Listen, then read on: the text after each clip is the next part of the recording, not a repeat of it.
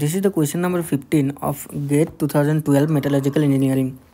The question is a peak in the X-ray diffraction pattern is observed at 2 theta is equal to 78 degree corresponding to 311 planes of an FCC metal. When the incident beam has a wavelength of 0.154 nanometer, the lattice parameter of the metal is approximately option A 0.6 nanometer, option B 0.4 nanometer, option C 0.3 nanometer and option D 0.2 nanometer. So now let us solve this question. Uh, it is told that it is uh, the X, diffraction pattern of a uh, FCC metal. So FCC metal, uh, the X diffraction pattern looks something like this. So and the peak corresponding to 311 peak, uh, the angle or 2 theta is uh, 78 degree.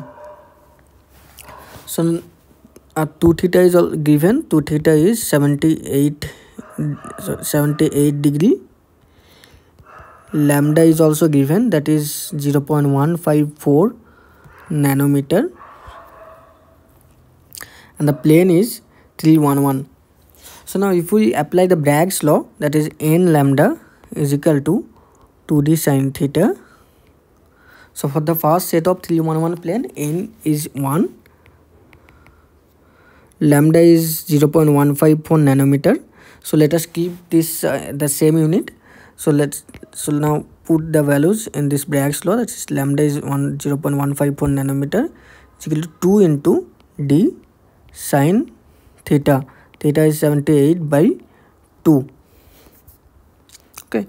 And we know the interplanar spacing d we can write is in terms of the lattice parameters that is a divided by root over of h square plus k square plus l square. So d is equal to a by root over of 3 square plus 1 square plus 1 square that is a by root over of 11 so if we put this relations in this equation we'll get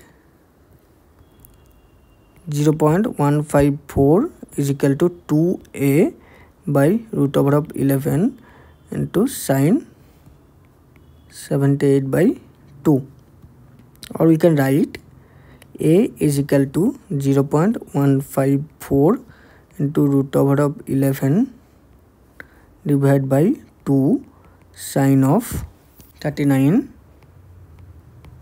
degree so if we calculate this, we will get A is equal to 0.4 nanometer. So the correct answer will be option B 0.4 nanometer.